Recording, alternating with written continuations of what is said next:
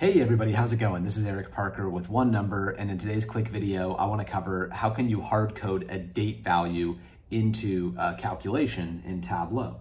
Uh, so let's say that you know you've got some sort of question here at the beginning that you're trying to handle. So in this one it says, uh, you know, how would sales compare for April 15th through July 15th, maybe like 2022 versus 2021?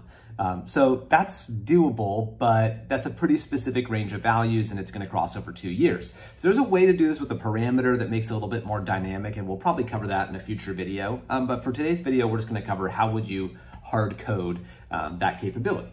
So let me go ahead and start this by creating a new calculated field.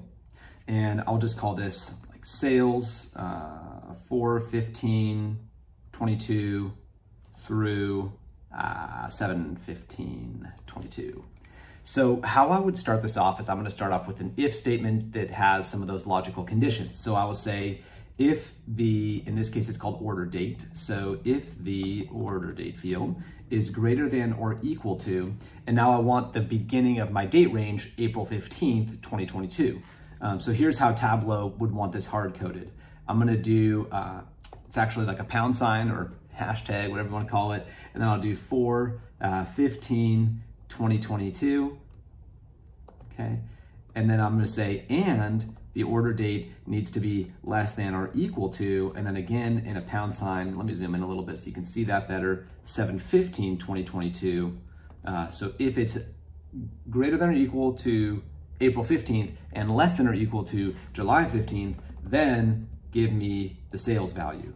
And, oh, it's called revenue here, my bad. Swap that in, then revenue, end. Okay, so first of all, let's just confirm that that worked because I never know. You never know. I could have uh, could be having one of those mornings where it's just not working the way that I expect. So I'm gonna go ahead and throw the day field on here and then my sales values. And then I scroll my way on down. That is what we wanna see, right? So I don't, there's no April 15th, but we've got April 16th, 2022, and that goes through July 14th, 2022. There's no July 15th. So that's giving us our sales values.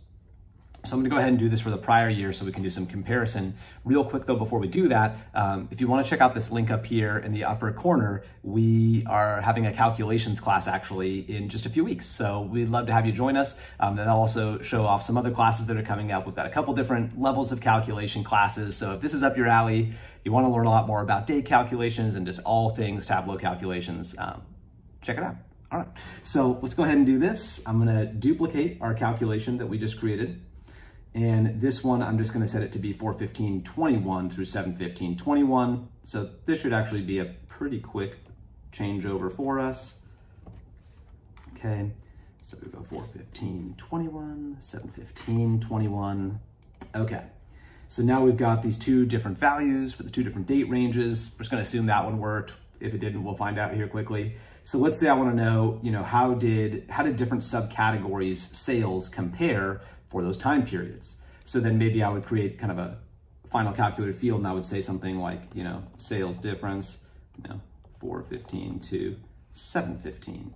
So really important here, uh, I'll put a link to it, but to uh, in the description where you can see a video that we did about why it's important to use aggregations in Tableau calculations. But really important here that we do use aggregations because otherwise um, comparing these values from these different date ranges is gonna return some null values. So I wanna do the sum of the 2022 sales minus the sum of the 2021 sales.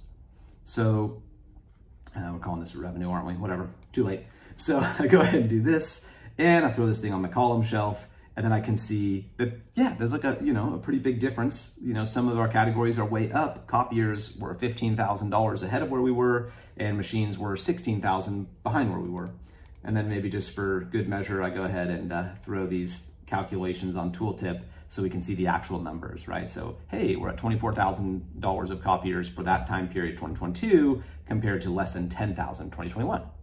So there you go. That's just sort of a quick run through of how do you hard code date values into Tableau calculations. So thanks for checking this out. We appreciate you joining us and we look forward to catching you on another video here in the next week. Thanks.